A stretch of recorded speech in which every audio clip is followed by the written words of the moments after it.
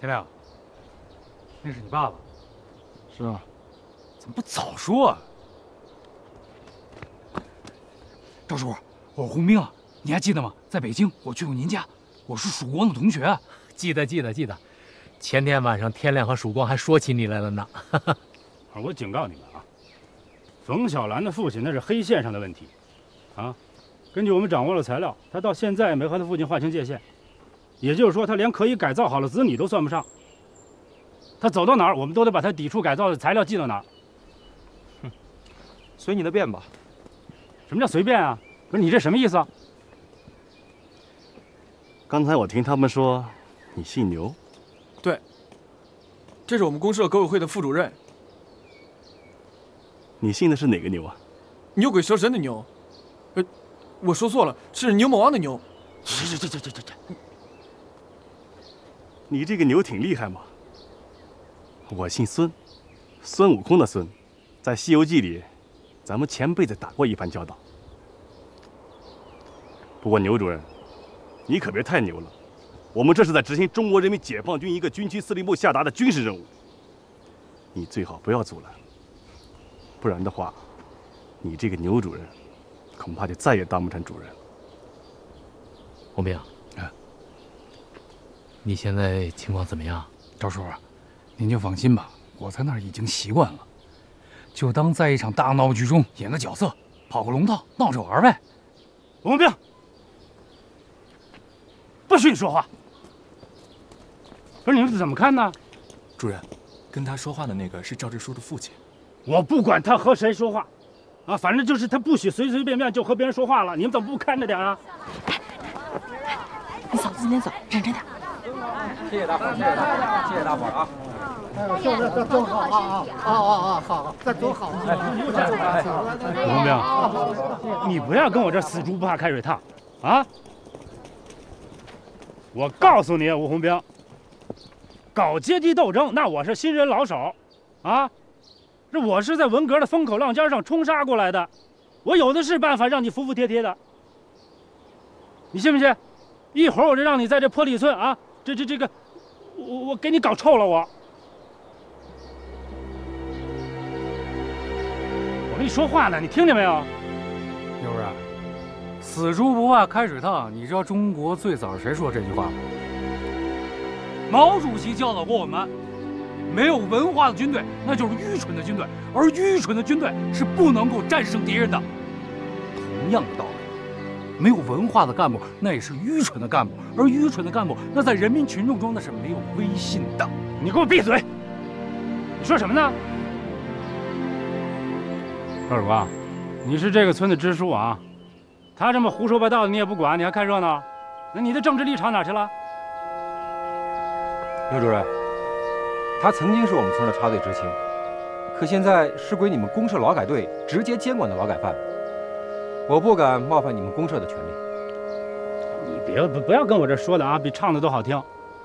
那行，那我现在就代表公社，我命令你，马上召开全村大会。在场的人一个都不许少！你吓唬谁呢？来，小兰，时间不早了，走吧。来，小兰，来，那我小兰呢？小兰，小兰，可算是赶上了，可算是没走。小兰，你看，我为了送你，还换了身新衣服，好看不？好看。大娘，我觉得自己像个逃兵。哎呀，可不要这么说，怎么还像个逃兵了？你这是去部队，是去支援西藏去了，这是好事儿啊！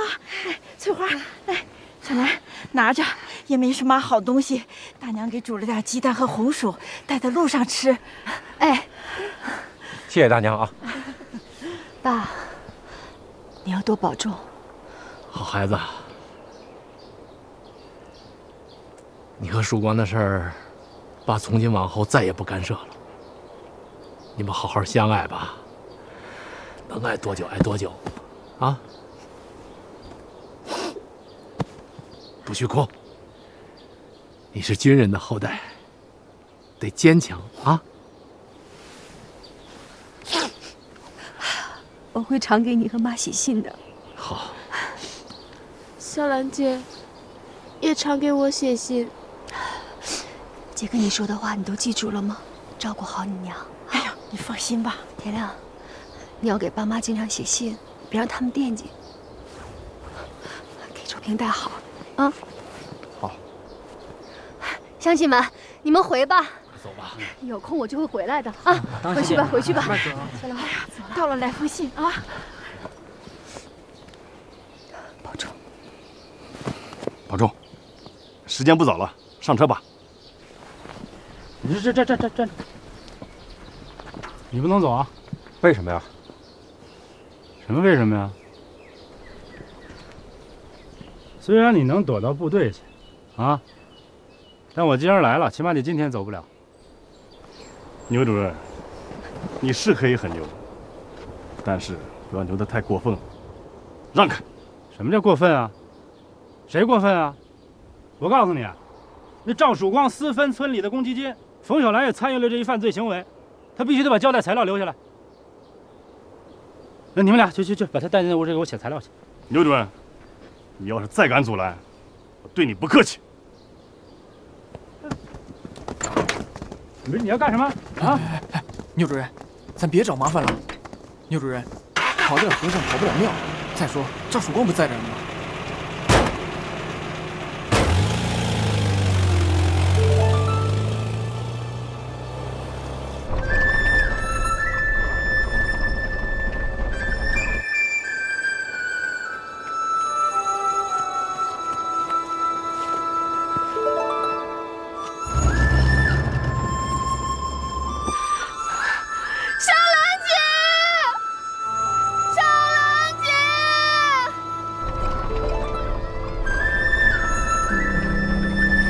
车！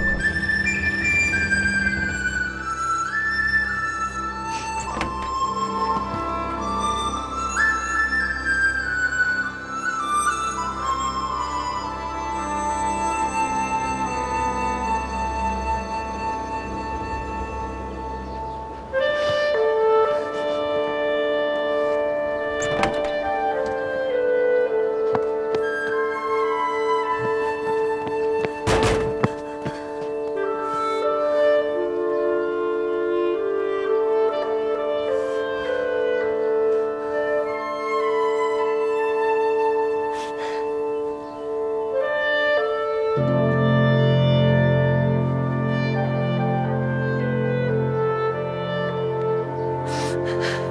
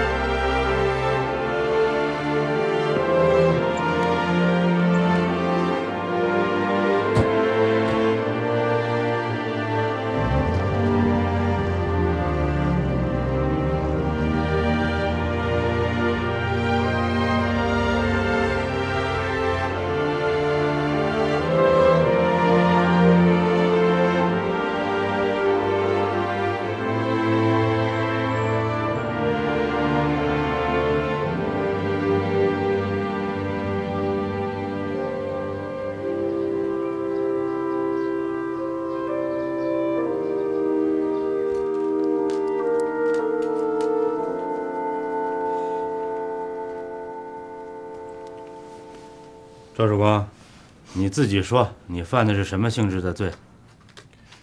牛主任，我们分的那些钱是从各家各户集资来的，我们集资是为了打井，只是现在请人打机井的条件很不成熟，所以先把钱退还到各家各户，这怎么就犯罪了呢？就是啊，你明明知道我这两天要过来收钱，却私自把钱给大家分了，你这不是犯罪是什么？那合着您来了，我就该二话不说，把乡亲们的血汗钱拱手相送，我觉得这才是犯罪。对对我我不管，反正我给你三天时间啊，三天之内你把钱收上来，一分都不能少，不然的话让你吃不了兜着走。你这跟挨家挨户的抢有什么区别呀？什么叫抢啊？我说两句啊，你呀、要命容易，要收走我们的钱没门儿是吧？哎，哎，刘主任，那退给我们的钱你就别要了，那都没了。就是怎么没了？怎么就没了？可能被耗子都叼窝里去了吧？哎 哎，昨天晚上啊，我堂妹夫的二姨从大老远跑过来，一直在我家等着呢。这分的钱都还债了，没了。就是就是分给俺们家的钱，今天一大早让俺哥拿到县城办年货去了。就是就是，快过春节了，谁家不买点年货呀？对不对？办年货，我家的钱在箱子里锁着呢，谁要敢来抢，我打断他的狗腿。就 是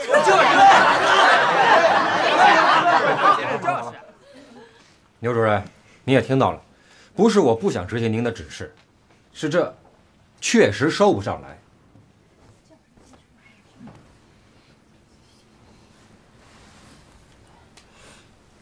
刚才那句话是谁说的？我我说最后那一句，是谁要打折我的腿？谁？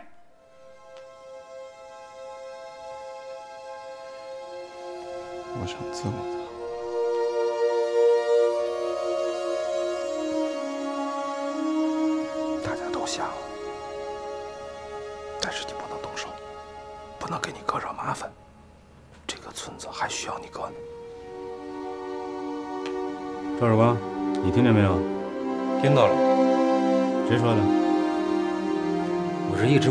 睛的注意您呢，我不知道谁说的。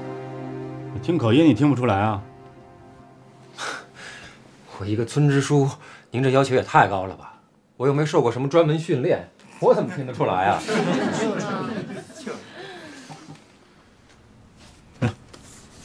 你看见谁了吗？嗯，那我叫你来干什么呢？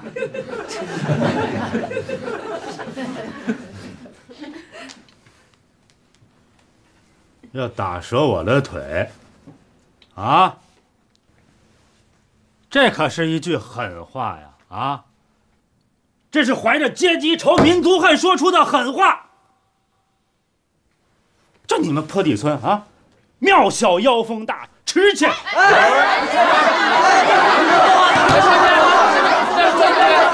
说说下去。会不会说话？会不会说话？怎么又说这事？呃，曙光，你你你你你，乡亲们，乡亲们，依我看呢，这牛主任说的不是他的本意啊，他是想说我们坡底村儿庙小香火旺，池浅鱼虾肥，是这意思吗？牛主任？对对对对对对，我我我我我就是这意思啊，我我我就是这个意思。好了好了，我就是这个意思啊。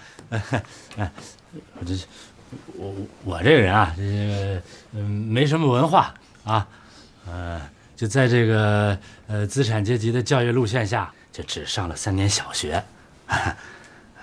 哎，要不怎么说这个资产阶级教育路线它害死人呢？啊？哎呃，打倒资产阶级教育路线。打倒资产阶级教育路线，打倒资产阶级教育路线，打倒资产阶级教育路线。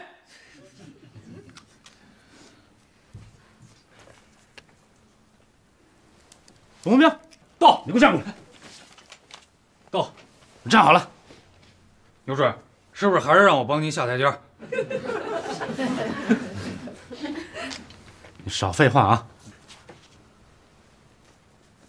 这就是资产阶级教育路线培养出的黑苗子，这个知识倒是学了不少，啊，连这死猪不怕开水烫出在哪儿他都知道，但是他思想却很反动，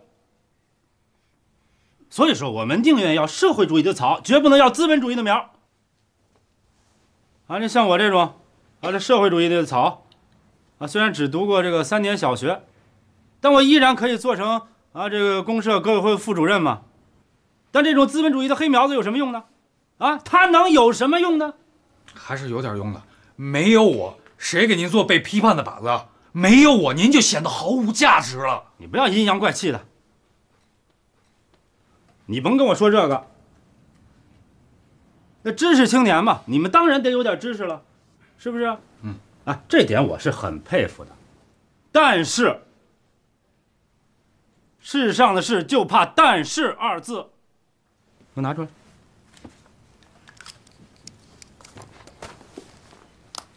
让我记住，我告诉你们，我什么都记着呢。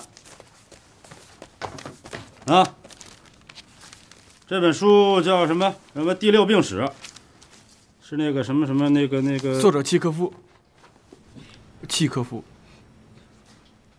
你就甭管是谁写的啊，反正这是一本修正主义的书。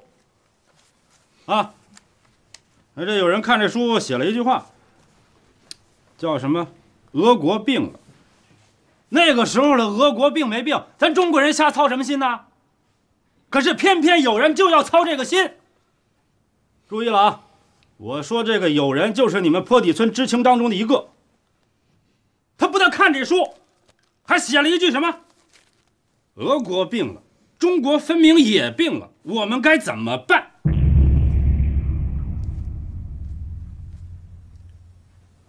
中国凭什么就病了？啊？中国怎么就病了？谁敢说这两句话他不是反动透顶？啊！刚开始我怀疑啊是你们村支书写的，但是我们比对了他那个工作汇报的笔记，啊，可以断定不是他。吴红兵，嗯，认你，你承认是你写的是吧？是。但是我们反反复复让你写了多少遍啊？你这个笔记就是对不上，明明不是你写的啊，你非要顶这个罪，这起码说明你知道这个人是谁，所以才不让他顶罪的，对不对？就算你不说，我们也知道，哎，这个笔记，他一定是一个女人写的。吴红兵，嗯。我代表公社革委会啊，我甚至代表县革委会正告你，这个问题是很严重的。就凭这一句话，你就是不掉脑袋，你得坐一辈子的牢。今天我再给你最后一次机会，啊，你当着大家的面把那个人是谁说出来，啊，就算你这个呃坦白从宽了，啊，戴罪立功，我很快就可以让你恢复自由。不说是吧？没关系，我给你三分钟时间啊，你好好考虑，想好了再说。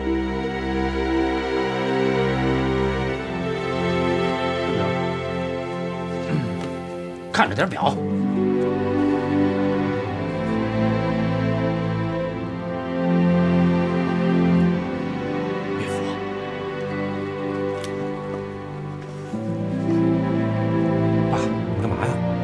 就这，你要干什么去？这闷得难受，我出去透透气儿。也好，这人多挤。哎，主任，主任，没事吧，主任？主任，我撞着谁了？我说你撞着我了，你撞了谁了？对不起，我是个瞎子啊！啊，好，赵叔这边好。嗯。赵叔叔，你没事吧？没事没事。哎，吴明，你给我回回回回。快快快快快快！你回来，你回来，快快快！你去干啥去？我我送送他。送什么呀？你送？你这问题还没交代清楚呢，你得把这事儿去给我。书呢？什么？什么书？哎，那书哪去了？啊？你刚才不是还在这儿呢吗？王明，啊，你赶紧把书给我交交交来。你刚才自个儿拍桌上义愤填膺的，你问我干什么？那他明明在那儿，他能跑哪去啊？啊？哎，女主人，会不会被刚才那个戴眼镜的瞎子给拿走了？嘿，你干什么你？嘿，你干什么？父亲。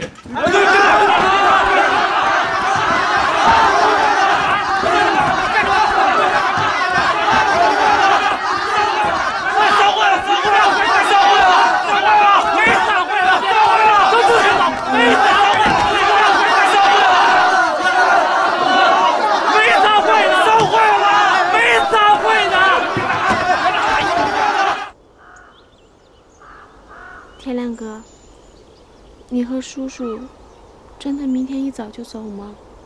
是啊，再过两天就是春节了，不能等到初四初五再走。那可不行。我们家一共四口，三口人都在这儿，我不能把我妈一个人撇在家里不管吧？是吧？多不合适。曙光哥说春节村里要放电影，还要请说书的来说《岳飞传》。那我也不能留下呀！我的探亲假总共才十二天，我又是班长，没有理由我是不能超假的。所以，我哥既然不回去，那我必须得回北京陪我父母过春节，对吧？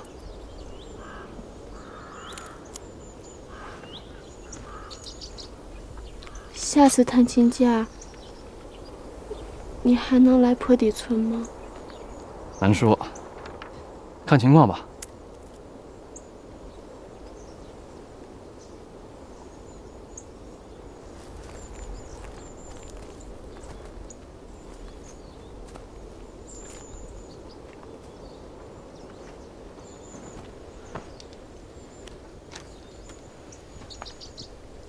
天亮哥，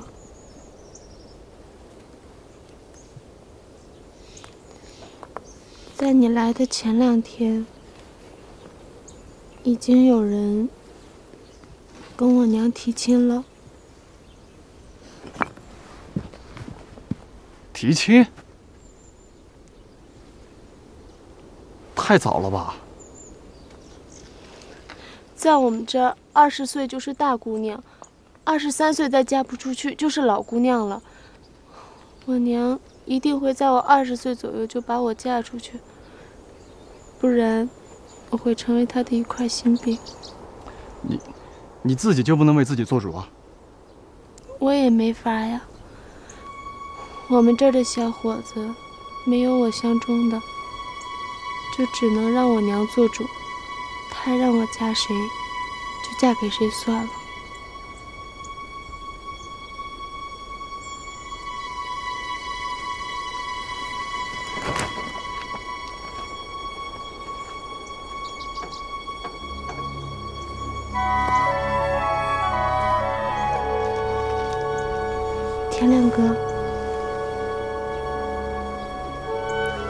你是喜欢我的，对吧？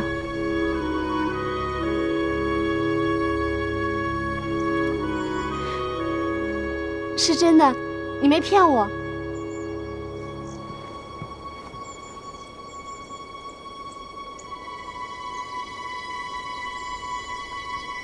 那，那你亲我一下。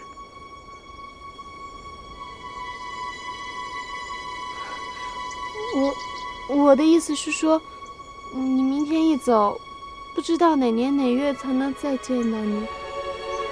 没准儿我已经嫁了人，又有了娃。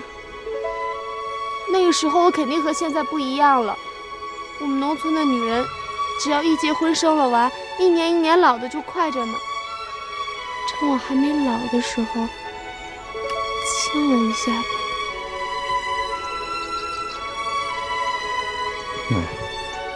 天亮哥，你现在要是不亲我，我就一辈子都没有机会让你亲我了。我就想让你亲我一下，好让我一辈子都能记着，在心里感觉着。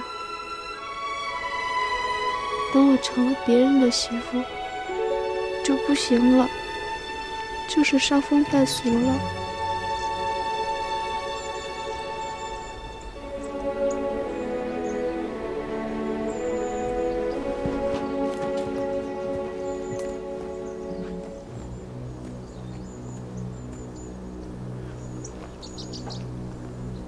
妹，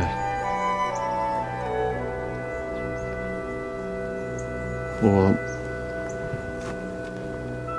我已经和一个上海姑娘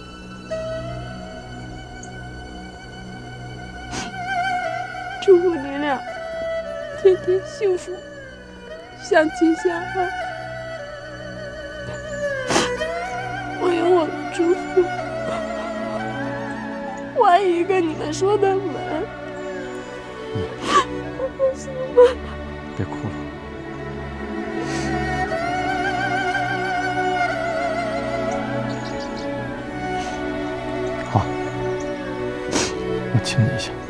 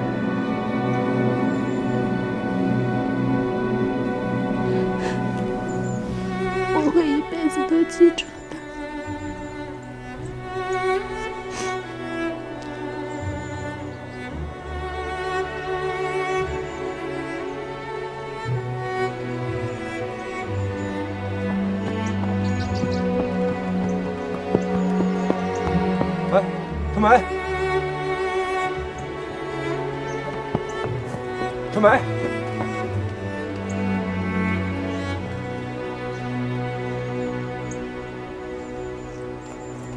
赵天亮，你刚才在干嘛？啊？我这春梅让我，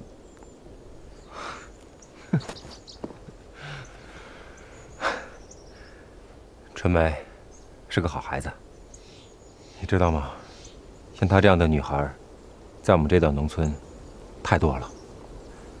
他们原本可以有选择自己幸福和爱情的权利，可是贫穷、封建和其他很多原因，他们这种权利被剥夺了。天亮，你做的对，你知道吗？你给他的不仅仅是一个吻，更多的是让他继续生活下去的力量。她在你这儿感受到的，是最真诚、最纯洁的友情。这份友情，他会记一辈子的。我只是觉得春梅不容易。哥，嗯，怎么什么事儿让你这么一说，都跟书本上的语言一样？好，不说春梅了，说说你跟小周，你在信上也没写清楚。周平的事儿待会儿再说吧。哥，那本第六病史的书跑哪儿去了？嗨，这事儿得问咱爸。问咱爸？嗯。这几天麻烦你们了。没事儿，不麻烦。我也没带啥来，还这会让你们破门。哎呀，应该那天喝酒，好家伙，可把我整得够呛。啊，可得来。好好好，哎，乡亲们，乡亲们，乡亲们，别送了，都回吧，回吧。啊，曙光他爸呀，啊你就把那心放得宽宽的，回北京吧。啊，好好好。曙光没事儿的，他是俺们的好支书，俺们大伙儿都相信他。大家看得起他，大家看得起他。往后啊，要是有人找茬为难他，我们就都替他顶着。好，要是有人整他呀，我们就想办法来保护他。就是赵叔叔，你就放心吧。好好我曙光在这儿没问题。谢谢谢谢乡亲们，是这个理儿吧？是啊是啊好，乡亲们，我谢谢大家。好，再见，都回去吧，不送了啊！好，再见，再见，再见。大娘好先回去吧好好回去，回去吧。爸，哎，路上小心啊！哎，有空来啊！哎，好，都回吧，都回吧。再见好，再见啊！再见回去吧。大娘，你们都回去了吧？天亮，照顾好爸啊！放心吧。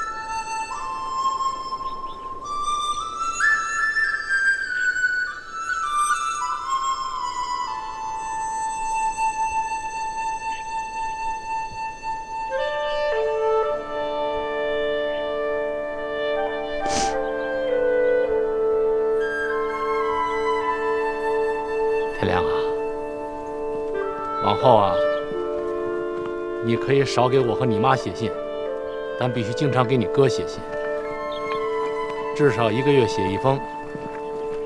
你有什么不顺心啦，遇到什么烦恼啦、苦闷啦，都可以在信里边向你哥汇报。我和你妈给你解决不了的思想问题，你哥能做到，我相信这一点，听到了吗？听到了。哎，这附近有人吗？一个也没有。你过来。怎么了？怎么了？天亮，你也跟我脱离父子关系吧。什么？你说什么？你跟我脱离了父子关系，就等于跟你妈脱离了关系，也就等于跟这个家庭脱离了关系了。爸，你是认真的？我当然是认真的。你最好在这次回兵团之前，能留下一封跟我脱离父子关系的声明信，那样你就可以踏踏实实的跟小周相爱了。你妈说，小周是一个很值得爱的好姑娘，而且她也特别特别的爱你。我相信你妈的感觉。爸，天亮啊，小周救过你的命，咱们赵家人不能做对不起救命恩人的事儿。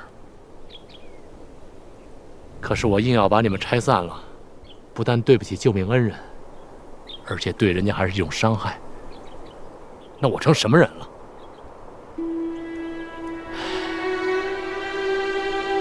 你妈是现役军人，咱们是革命军人家庭，我们对部队的阶级纯洁性是负有责任的。以后啊，咱们这个家，你们还可以偷偷的回来。在我和你妈的心里啊，你们俩都是我们的好孩子。你别说了，我不想这样。我和周平只相爱不结婚，这不就行了吗？傻小子，那哪成啊？啊！行了行了，你愿意怎么办就怎么办吧。啊，爸。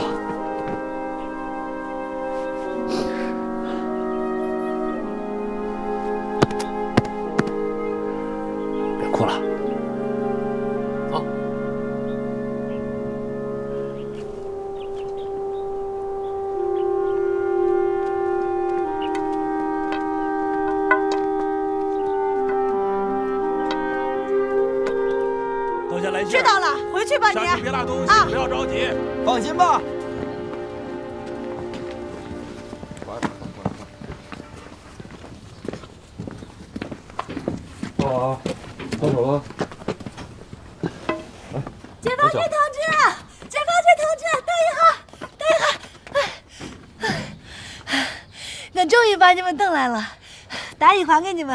哎呦，谢谢你啊，小同志，谢谢。就为这件大衣啊这两天啊，他一直在这等着，我想买他都不卖，说一定能等到你们回来。人家好心好意把大衣借给我，我总不能把它给卖了嘛，这不等来了吗？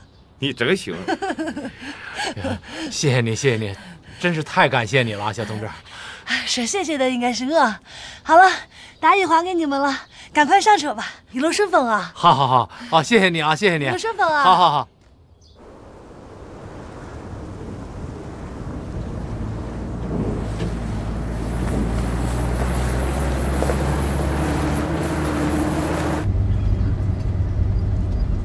你刚才哑巴了，连句谢谢都不会说。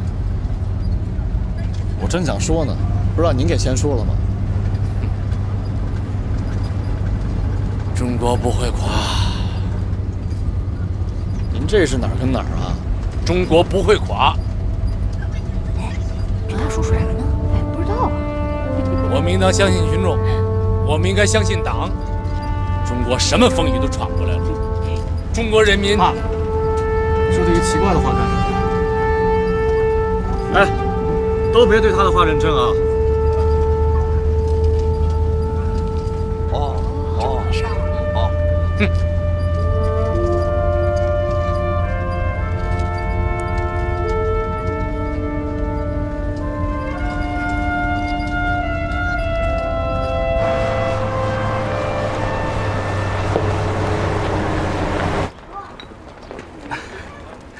黄伟和魏明给我拍了封电报，让我赶紧回去。估计给天亮也拍了一封同样的电报。为啥呀？团里要从咱们连挑一个班，执行长期的边防巡逻任务，配备真枪实弹。他俩在电报上说，咱们班大有希望，需要全班人共同争取。这俩小子，哎，毕竟我也当过一班的班长，这电报不拍给我，却拍给你，你现在已经不是一班的人了嘛？谁让你放着好好的班长不当，非要去当什么马官的？当不当班长我倒不后悔，后悔的是没有机会摆弄真枪了。这要是给我发一杆真枪，我还不得每天擦他个十年？晚上抱着枪睡觉？那倒不至于。那你啥时候走啊？我已经买好公司的票了。哎，没想到把这情况一说，我爸妈还挺高兴，支持我提前回连队呢。哎，到了，走。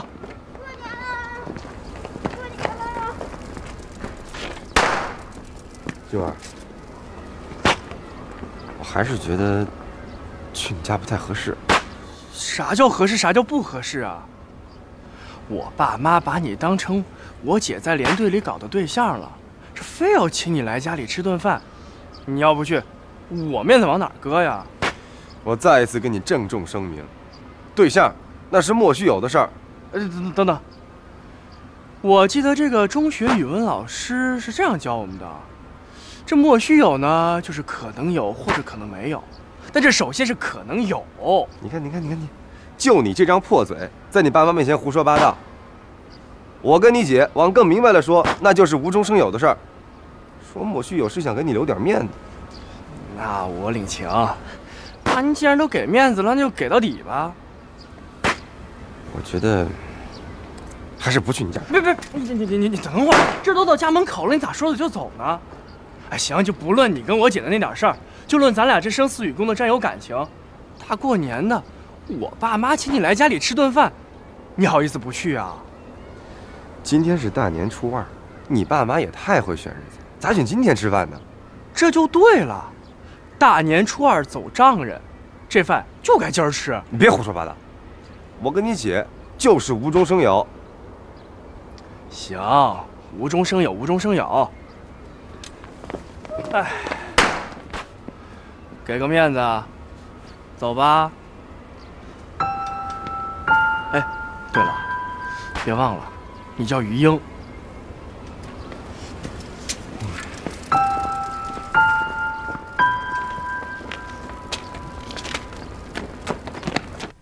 信封和邮票都备好喽。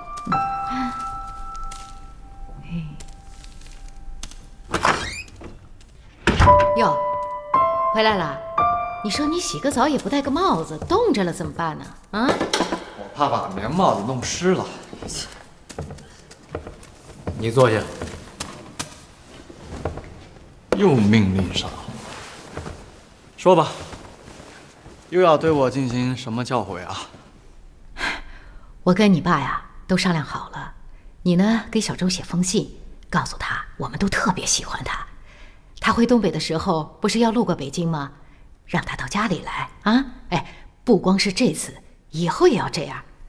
那信封、邮票，妈都给你准备好了。还有啊，上次小周走的时候，当着他的面儿，作为父亲，我那天有点失态啊。你捎上一句话，叫他 不要往心里去。妈，你发现没有，我爸这趟陕北之行变化很大呀。哎，你爸说了，说这趟去陕北啊，有几个发现和感受。首先呢，是孩子们都长大了，你们有了自己的想法和追求。再有就是，当地的老百姓虽然穷，可是人的心劲儿啊没有散，依然是拥护我们的党，热爱我们的祖国。这歪风邪气虽说是横行霸道，可毕竟邪不压正啊，这是为什么呢？你说的太啰嗦了。总之一句话，动荡和挫折是暂时的，希望和光明是永远的。中国没有病，永远也不会病。绚丽的青春之家，画出人生的层叠波澜，一代人的追忆，当地难以平静的心田，难忘那苍茫岁月，那海。